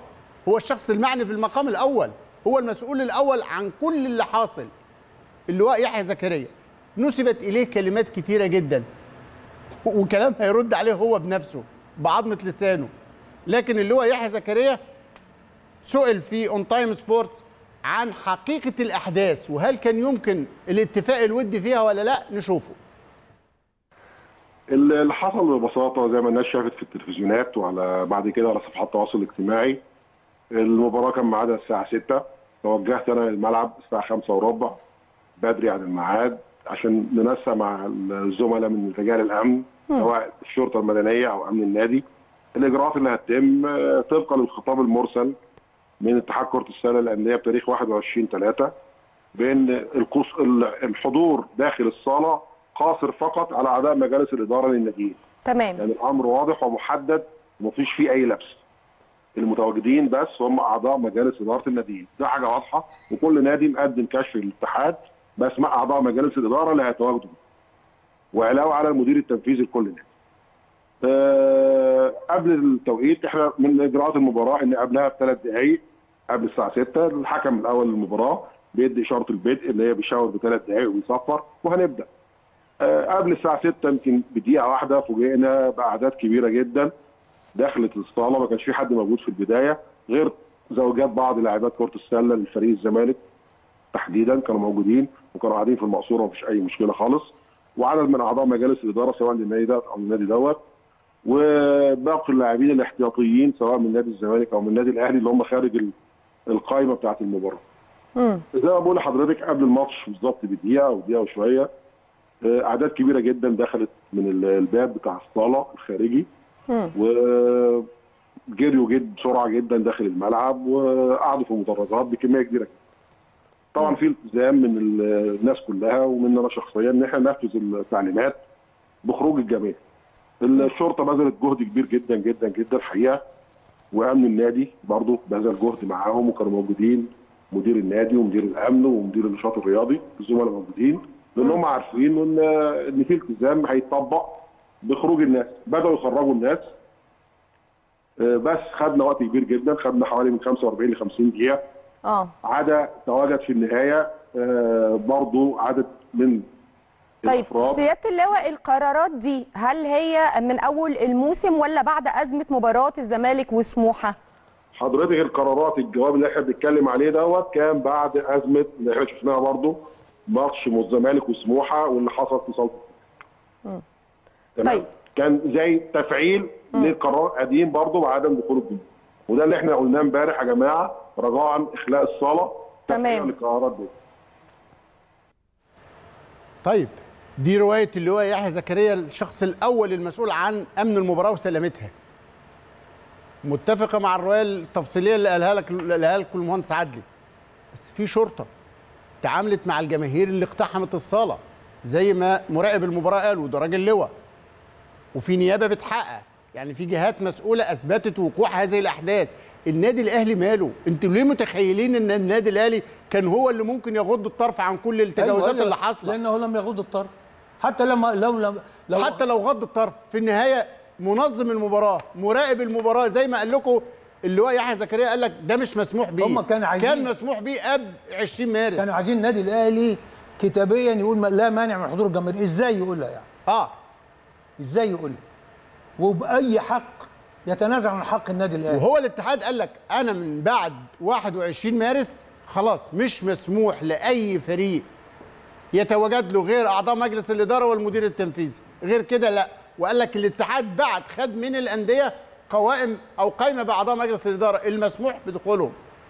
إذا في نظام وفي اقتحام للملعب وحدثت بعد كده تجاوزات كتيرة جدا لابد إن جهات التحقيق الرسمية رصدها وبتحقق فيها. لما يقول لك خدت 45 ل 50 دقيقة. على فكرة في ظل الجزء الأول اللي بيقولوا كان في جماهير كتير جدا كان ممكن يلغي المباراة بعد تلت آه ساعة. طبعا طبعا. بعد تلت ده هو ساعة. استنى كتير. هو لا عشان جامل آه. وتصور هيقدر يحل المشكلة. ما استنى كانش كتير. عارف إن ح... إن صبره ده هيحمله مزيد 50 من دقيقة. هيحمله مزيد من التعنت آه. وخرق النظام. طيب يسيبوا الكلام ده كله ويسيبوا التجاوزات دي كلها ويسيبوا السباب اللي حصل ويسيبوا كل الأعمال اللي حصلت والاقتحام والناس تتكلم على الأهلي وإن الأهلي لا الأهلي بيحترم الزمالك جدا. الأهلي بيقدر الزمالك ويقدر العلاقة التاريخية الكبيرة اللي بين الناديين. وأعتقد ال- المستشار رئيس اللجنة المشرفة على نادي الزمالك الأسبوع اللي فات قال الكلام ده. قال على موقف الكابتن محمود الخطيب ومساندته لنادي الزمالك. وكلامه الواضح ما بنفوتش حد من لعيبة الزمالك. حفاظا على كيان واستقرار فريق الزمالك. ووجه له الشكر. ولما سئل ده ساعدكم في تجديد العقود؟ قال لك طبعا. هي دي المواقف المسؤولة. بس هذه المواقف عايزين مش الاهلي مش عاجبة البعض. مش عاجبة البعض صدقني. طبعا طبعا في ناس عندها توجهات تانية وفي ناس عايزة فعلا المشهد يفضل ملتهب. صدقوني مش لصالح الطرفين حتى لصالح الطرف الثالث اللي محدش عايز يشاور عليه. هذا التجدير للعلاقة لمصلحة أطراف أخرى فقدت وجودها. اللي ما زالت أدواته هي اللي بمصدر نفس الأدوات متصدرة عايز. ينتبه آه. محدش عايز ينتبه. لكن حتى من ضمن الكلام الغريب جدا لا أصل اللي هو يحيى زكريا بناته بيلعبوا في النادي الأهلي. آه ده كده يبقى غلطان جدا. لو بناته كلهم بيلعبوا في النادي الأهلي دي تبقى غلطان غلط في اختياره. لا ده كمان هو اللي كان المراقب بتاع المباراة الأولى في صالة النادي الأهلي واللي سمح بدخول جماهير النادي الأهلي. والنهاردة جاي يمنع. يبقى برضه ده اختيار خاطئ جدا. اللي هو يحيى زكريا مراقب المباراة. بناته كلهم بيلعبوا في النادي الأهلي. نشوفه هو قال إيه. طيب الم- مباراة الأهلي كان فيها جمهور. إيه, إيه كان الفرق ما بين أو إيه الإجراء اللي اتخذ إن اتمنع في مباراة الزمالك إن يبقى فيه جمهور؟ هو اللي حصل في مباراة الزمالك دوت كان آه، تاثيرا للي حصل في مباراة الزمالك وسموحة. تمام. امم انما إنما كان في ضمنيا في اتفاق ضمني وليس مكتوب زي ما زي ما بقول وضح لي كده بالظبط إن لو الفريقين ارتضوا بوجود جمهور كان بيسمح بوجود الجمهور بناء على موافقه الطرفين. وده اللي حصل في خلال الفترة اللي فاتت. في مباراة الأمس يعني مباراة الأمس لو الفريقين ارتضوا إن يبقى فيه جمهور كانت هتتلعب بجمهور كنا هنتلاقي مش بجمهور بالناس اللي هي مشجعين فعلا اللعبة أو أولياء الأمور أو اللعيبة أو الأجهزة الفنية سواء من نادي هنا أو من نادي هنا. دول دول اللي بيسمعوا بتواجدهم غير مسموح بتواجد أي حد غير كده. إنما ماتش امبارح دوت جاء بعد يوم 21 3 بعد الجواب بتاع 21 3 وبعد أحداث الزمالك وسموحة فكان معروف مسبقا وإحنا مبلغين النادي تحديدا امبارح أنا مبلغ المسؤولين في النادي قبل ما أروح إن مش هيتواجد أي حد خالص غير أعضاء مجلس إدارة الناديين فقط لا غير. تمام طيب سياده اللواء اسمح لي برضو أقول لك إيه الكلام اللي اتقال وحضرتك ليك حق الرد طبعا بيتقال إن حضرتك جاملت الأهلي في التقرير بتاعك أو في إلغاء المباراة لأن آه، ولاد حضرتك بيلعبوا البنات بيلعبوا في النادي الأهلي ولادي البنات أنا ما عنديش غير بنت واحدة ومبطلة ومبطلة باسكت من ثلاث سنين. آه، الناس شافت الوضع امبارح كان عامل إزاي؟ إحنا كل اللي طلبناه إخلاء المدرجات بمنتهى البساطة تنفيذا لتطبيقا للوائح. الناس كانت متعاونة في البداية عدا في النهاية تبقى حوالي من 20 ل 30 واحد بالظبط موجودين آه، بدون تحديد أي أسماء بدون تحديد أي شخصيات طلبنا اخلاءهم من الملعب.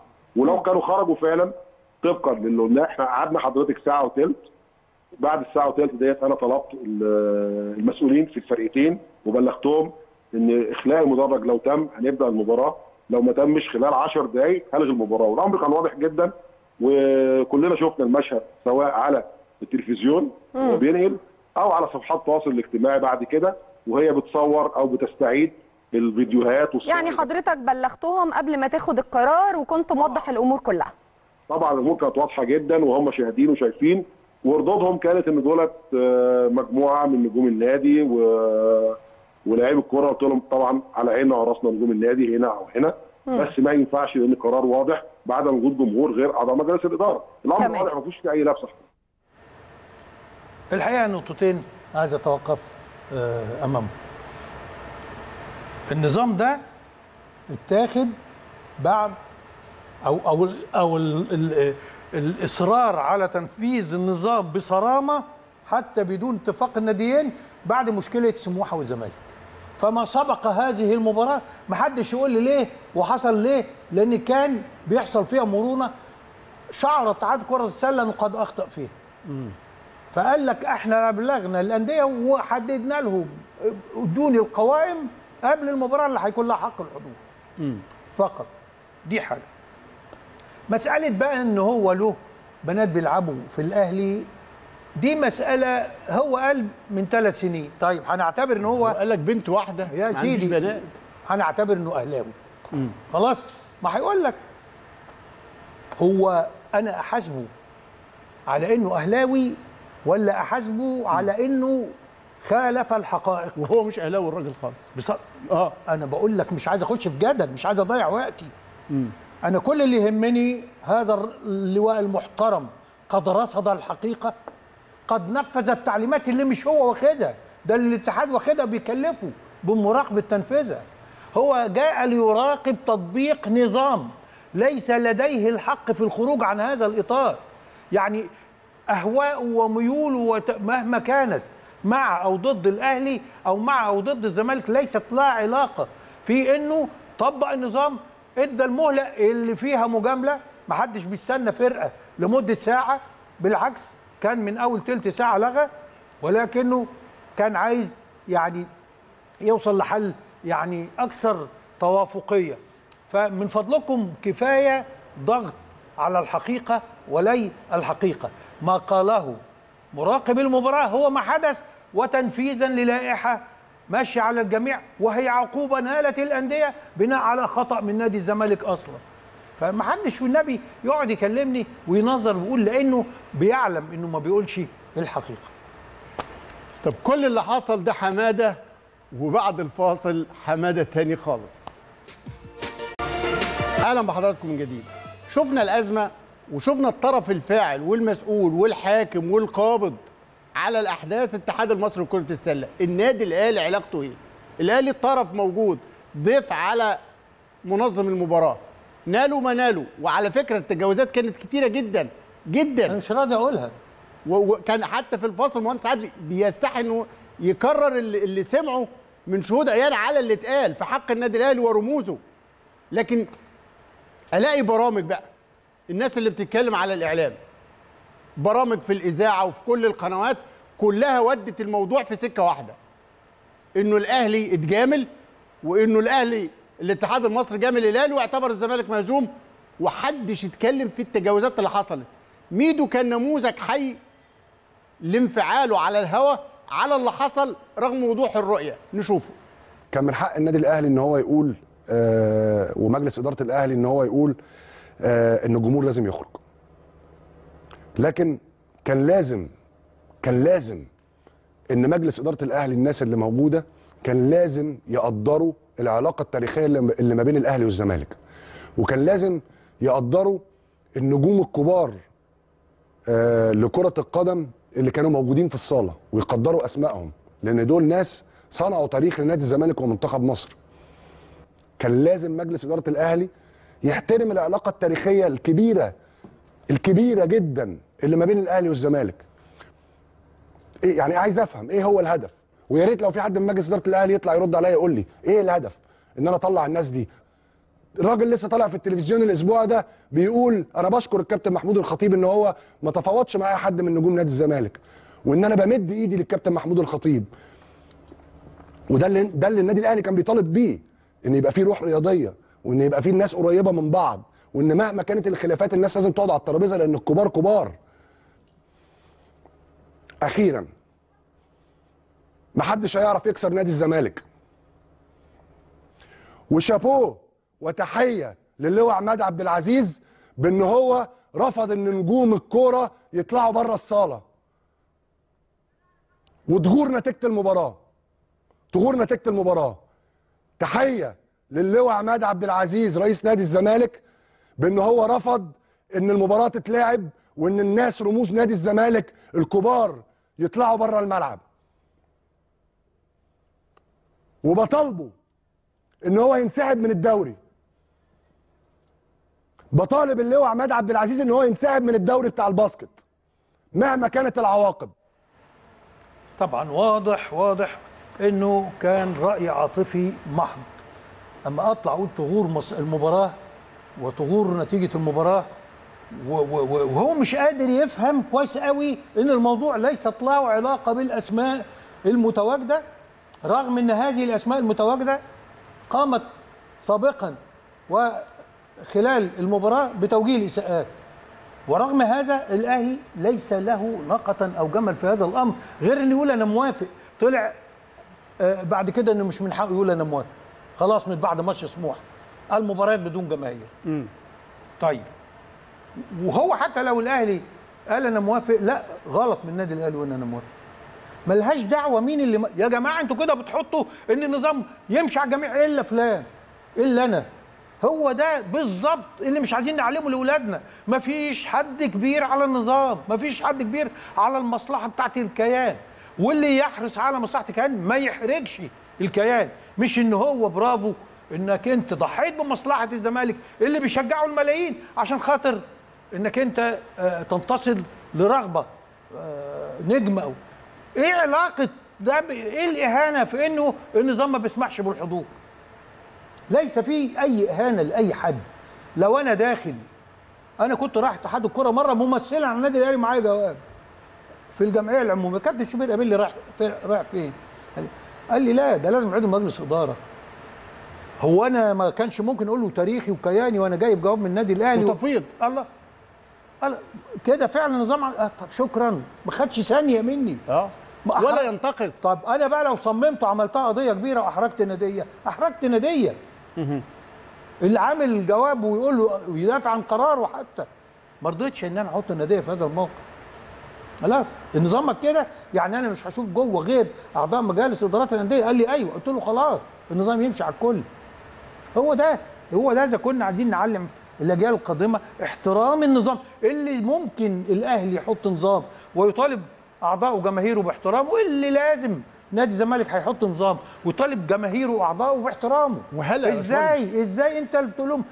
بس نستثني منهم فلان وفلان وفلان. وهل وهل كان مطلوب من أعضاء مجلس إدارة النادي الأهلي اللي موجودين في الصالة يسمعوا السباب والشتائم اللي حصلت من هذه. الجماهير بشكل فج جدا في حق رموز سابقين منهم الكابتن صالح سليم عليه رحمة الله ومجلس الإدارة أنا ممكن الحالي أجيب لك على النادي الأهلي. بس كده إحنا إحنا هنمشي في الغلط. هنطول قوي لكنه الفكرة عايز مجلس إدارة يسمع كل هذه التجاوزات اللي هي دلوقتي آه، تحت التحقيق سواء في الشرطة أو في النيابة.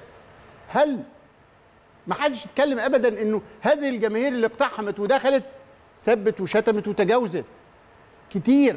عايز مجلس إدارة النادي الأهلي يوافق على الشتيمه ويكتب أوكي أنا موافق أتشتم بس نلعب المباراة. لا الأهلي من حقه. يرفض أو يقبل. زي ما المهندس عدلي قال لكم تعليقا على كلام اللي هو يحيى زكريا. الكلام ده قبل 20 مارس. بعد 20 مارس بسبب الزمالك في ماتش سموحة أصبح مش من حق الطرفين يتوافقوا. طب إيه النظام هيمشي. اقلب يا أستاذ إبراهيم الموقف؟ اقلبه بالظبط 180 درجة؟ آه. ها؟ الماتش ده حصل في ملعب الأهلي والزمالك أصر على تطبيق النظام والأهلي أصر على خرق النظام واتخذت المباراة اللي فيها عقوبة كان المفروض الأهلي يتعاقبها علشان آه، جمهوره برضه هو اللي خرق النظام. هل كان اللغة بتاعت كل هؤلاء هتبقى بالطريقة دي ولا كنا هنشوف المنطق الثاني اللي بقى يتحيز إلى تطبيق النظام والقانون؟ هو الأهلي عايز يبقى فوق القانون؟ كان هيتقال كده علينا. لو إحنا اللي عكسنا الوضع. وهيتقال زي ما اتقال من الكابتن أيمن يونس. نشوف. جمهور الزمالك يعاني من عقدة الاضطهاد. اللي بيشوفه ده مش عايزه يعاني؟ بيشوفه في كل حاجة. وفي ناس بتتفنن بصناعة التعصب ده راجل دكتور جامعه عمل سؤال على بن شرقي كوميدي. حاجة حاجة كوميدية جدا يعني. ده راجل في حاجات يعني- ماشي. ما هو مخرج ما بيعدش لقطة جون. مش عايزه يزعل. ما هو لعيب بتاعه بيتوقف بشكل معين ولعيب نادي تاني ما بيتوقف.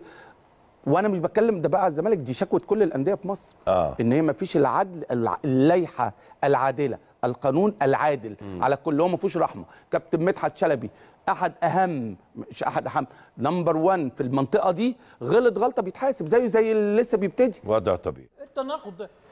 إيه التناقض ده. كابتن مدحت شلبي number 1 غلط غلطة يتحاسب لكن لا. لكن شيكابالا يدخل آه يدخل. إيه يا كابتن أيمن بتقول إيه؟ يا كابتن أيمن هو الموضوع ببساطة ما حدش فوق النظام يا ابن الناس وتطبيق النظام. كل الأندية بتعاني بتعاني من إيه؟ من المجاملة الصارخة إنه بيتحط تحت رعاية الوزير وإنه وإنه وإنه. مش عايزين نقعد نعد والنبي الكلام ده. يا جماعة النادي الأهلي ما بيتصدرش غير في اللي له حق فيه. لأنه عارف ما ياخدش معارك خاسره فالتناقض الغريب. بس اللي فات يأكد رواية برضه عضو في مجلس إدارة نادي الزمالك السابق الكابتن حمادة أنور. يعني اللي فات حمادة وده حمادة تاني؟ ده حمادة تاني خالص نشوف. الملك واخد 12 12 مرة. دوري آه. 12 دوري. ده ده ده لا ده- طبعا لا. ده ينفع. معلش. يعني 12 بس مرة حمادة. الدوري برضو ليه عوامل كتير. ارد على العوامل. ماشي. اتحاد الكوره في الستينات مسكوه زملكاويه ماشي. مش شرط يا كابتن وهي يعني؟ أها. آه والله مش شرط. أمال إيه الشرط مش طيب؟ شرط بالعكس. لا أمال يعني بالعكس يعني يا يبقى اللي ماسكين الاتحاد المسؤولين عن اللي بيعينوا الحكام. آه. ويدوا قرارات. آه. بينتموا لنادي الزمالك ويخسروا نادي لا الزمالك. ومش هيخسر. هو هو لما هيكون موجود يا مش عايز يا يبين ان هو أنا بقول لك كلام. كابتن مش. كل الدوريات يا كابتن كانت فير. أنا صريح وهفضل أقول هفضل أقولها على طول. يا- أنت يا- خسرت يا دوري. بتاع بتاع الكابتن حسن شحاتة بأوفسايد من نص الملعب يا كابتن. كلكم أوفسايد من نص الملعب. كابتن. كابتن. يا عم ماشي. أنت ما- مش عارفه ده مش عارف الدوري. ده ولا عارفه؟ لا عارفه. طيب. ادي بطولة. ماشي لا لا 61 مش مشكلة ده. يلا اديني ال 60 ما- بقى إيه بقى؟ ما ممكن البطولة تجيب بطولات وأنت عارف كده كويس. إيه بطوله تجيب بطوله آه والله البطولة تجيب بطولات يا كابتن. لا يا حمادة. وفقد البطولة يفقدك بطولات. أنتوا خدتوا بطولتين ورا بعض في الدوري يا ابني. ماشي. فين بقى؟ فخدتوا البطولات بعدها لمدة 15 سنة. برضه الحكام وال- لا لا مش الحكام. انت عارف ان. ساعتها يا كابتن كان السبونسر للأندية وكالة الأهرام. كابتن حسن حمدي. قعد قد إيه رئيس النادي الأهلي وهو رئيس وكالة الأهرام مش للاعلام مهم دي. ما هو النادي الأهلي ما كانش بيعتمد على الأهرام بس عشان تبقى في الصورة. طيب كان في رجال أعمال. طيب. طيب. لا ما أنتوا ما أنتوا رجال أعمال. ما أنتوا واحدة واحدة. الأهلي لو ما كانش ياخد بطولات آه. كان هيبقى قيمته التسويقية كده؟ لا طبعا. أنت راجل بتاع تسويق لا. طبعا لا طبعا. مش أنت راجل لا إداري وبتاع طبعا لا تسويق؟ طبعا. طيب. بس أنا في كل ده برضو نادي الزمالك ما بياخدش بطولات عايزه ياخد زي الأهلي؟ لا طبعا. طيب. وبرضو عايز أتكلم إن منظومة النادي الأهلي مختلفة. طب يا أفضل أقول لا أهو. لا لا يا كابتن. بص بغض النظر على النقط اللي إحنا بنتكلم فيها بس النادي الأهلي لا منظومته مختلفة وأنا هفضل وقلتها كذا مرة يا كابتن وفي كل مكان هفضل أقول أي حد هيقف على الخط في النادي الأهلي هياخد بطولة لأن النادي الأهلي منظومة. أنا بكلم حضرتك بصراحة أي حد مسك في النادي الأهلي يا كابتن هياخد بطولات ليه؟ بيجي يشتغل على نظام موجود في كله بيتبع النظام ده محدش بيخرج براه.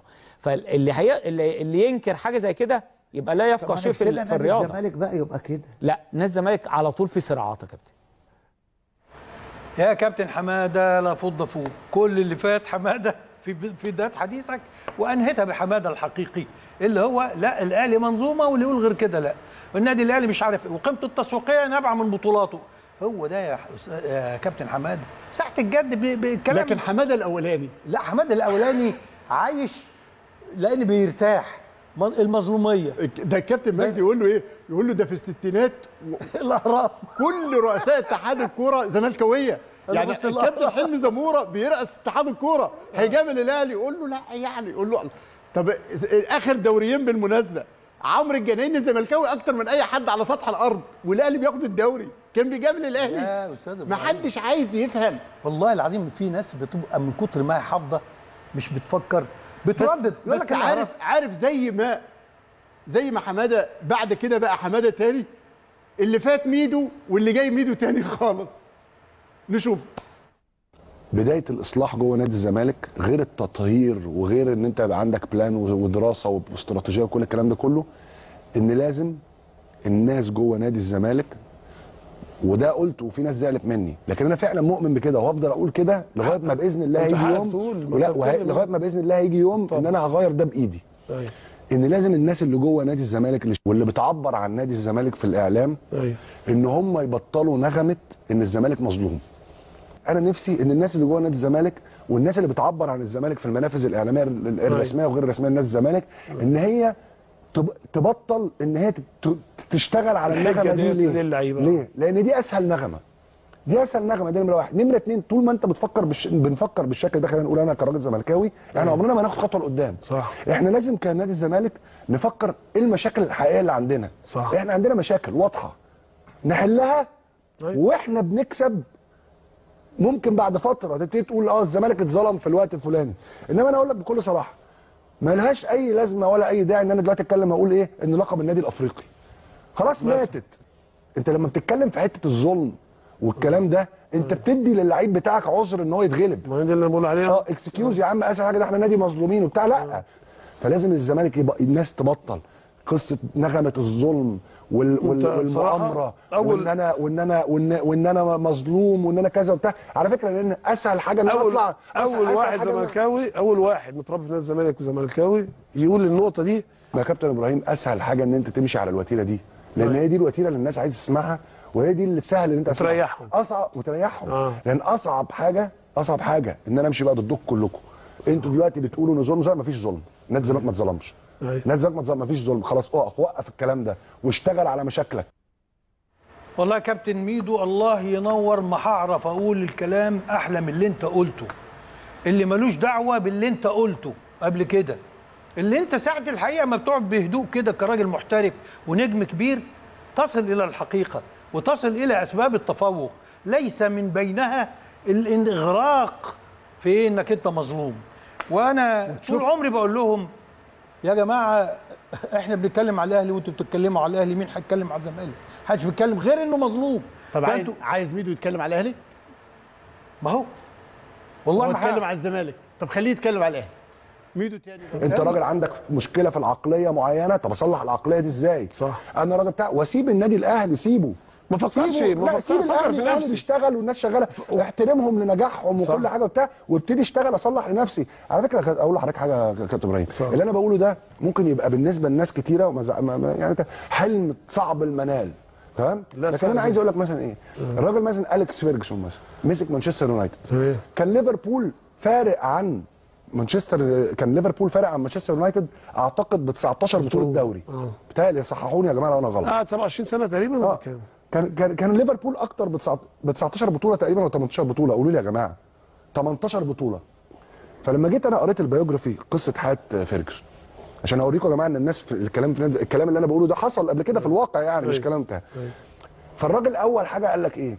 في في قصة حياته يعني هو بيكتب بيكتب. بالظبط. فقال لك إن أول حاجة أنا فكرت فيها إن أنا أقنع الناس في مانشستر يونايتد إن هم ما يفكروش في ليفربول. فكروا في نفسه. فكري في نفسك صح. تاني حاجة إن أنا أغير العقلية. إزاي إن أنا هو كان ماسك فرقة في اسكتلندا أبردين بتهيألي وقدر إن هو ياخد بيهم الدوري بتاع إزاي إن أنا أزرع العقلية بتاعت البطولة آه، جواهم. تمام. وابتدى إن هو يفكر إن أنا إزاي إن أنا أقرب من الناس دي. لغاية ما مانشستر يونايتد حصل ليفربول. وابتدى أنا أنا ما بقولش دلوقتي عشان فكر في نفسه وفكر وعداه في المنافس بتاعه. آه. فهي دي يعني انت المشكلة ان انت شاغل فعلا نفسك بالمنافس. كابتن إبراهيم لما بيجي مثلا نقول الكلام ده المشكلة إيه عندنا في نادي الزمالك؟ بيزعلوا. بيزعلوا مني. آه. انت إزاي تقول كده؟ انت كذا انت بتبتدي يسخنوا الناس عليك وابتدوا لأن في ناس مش المشكلة ان في ناس عايشة على في ناس عايشة حياتها كلها وبتقبض فلوس و... وعايشين في حياتهم على في مشاكل الزمالك. على مش غير على مشاكل الزمالك على على خراب. على ثبات إقناع الفكرة دي. طب إحنا يعني بالله عليك قلنا إيه غير كده؟ إحنا بنقول إيه غير كده؟ إحنا متبنيين إيه غير كده؟ اقعد بص لمشاكلك وحلها مالكش دعوة بيا. ما تقعدش تكرس كل همك تشويهي. يعني ما هو انت لما تشوهني انت ما بقتش جميل. آه. روح شوف انت إيه اللي ناقصك عشان تبقى جميل. أول حاجة عشان تبقى جميل أو ست جميلة إنها تبقى رقيقة. ما تبقاش عصبية ومنفعلة ومظلومة طول النهار نكدية وبتعيط لأ. تشوف موطن الأنوثة اللي فيها ضعفها وإنها تبتدي تبقى سلسة والناس تحبها هيبتدي يشوفوها بعيون.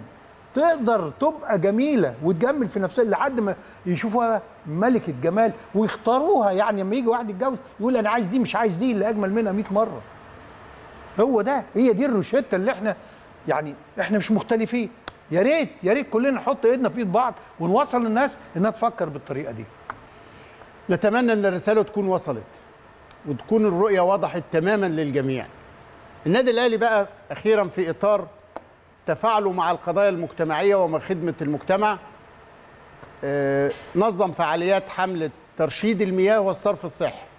في مقري النادي يا باشمهندس في الجزيرة ومدينة نصر شايفين لقطات من هذه الفعالية اللي بتنظمها الإدارة التنفيذية للنادي بالتعاون مع اتحاد اللجان ال- لجان النشاط في النادي اللجنة العليا للجان تحت شعار كل نقطة بتفرق. كل نقطة مش مش كل نقطة في الدوري. ما هي كل نقطة في الدوري بتفرق. بس بتخ- كل نقطة مية. بتخانق كل يوم. أما باجي هنا عليها على الحنفية اللي بتخر ومحدش بيصلحها دي. بالظبط. وده كان في مقري النادي في الجزيرة وفي مدينة نصر ضمن بروتوكول مع الشركة القابضة للمياه والصرف الصحي. يا باشمهندس في إطار هذا الجهد المجتمعي. أعتقد من وجهة نظري أيوه. كل اللي فات ده علاج لمشاكل. النقطة دي بالذات أهم ما قيل اليوم في هذا البرنامج إنك ترتبط بهموم بلدك وتتسق مع أهداف بلدك مجتمعك. ومجتمعك وتبقى جزء من حل ممكن يمر من خلالك إلى أكبر قاعدة من المنتمين إليك واللي بيصدقوك أيوة. إن يا جماعة نقطة المية بقت حياة إحنا هنعمل إيه أكتر من الرئيس اللي بيعمله طول النهار همه وشغله الشاغل في آه، ملف آه، وقال قال قال دي- ده خط طيب، أحمر. ف- ما هوش خط أحمر إحنا بنهدره. صحيح. ال- ال- ال- المبادرة آه، انطلقت من النادي الأهلي شأنها شأن مبادرات سابقة كثيرة بتوضح النادي الأهلي وهو في وسط المشاكل مش ناسي دوره المجتمعي ودوره في م- أن يكون نادي آه، يعني بيتسق مع أهداف البلد وبيساعد على إنه يدعمها وتوعية أعضاء النادي وجماهيره بالحفاظ. على المياه. بالحفاظ على المياه حياة وكل نقطة. هتحتاجها ما انتش عارف إمتى أو غيرك محتاجها في هذه اللحظة بس فين شكرا للجنة أو اتحاد اللجنة العليا للجان النادي برئاسة صح. النشيط وليد مبروك وليد مبروك متولي عايزين. مرة نعمل فوكس على ولجان شباب النادي الحقيقة عاملين مجهود كبير جدا لتفعيل الدور المجتمعي الكبير للنادي الأهلي دمتم للاهلي دائما ودام لكم الاهلي بإذن الله تعالى بطلا شامخا. وعلى خير نلتقي مساء الاثنين القادم إن شاء الله. تصبحوا على خير.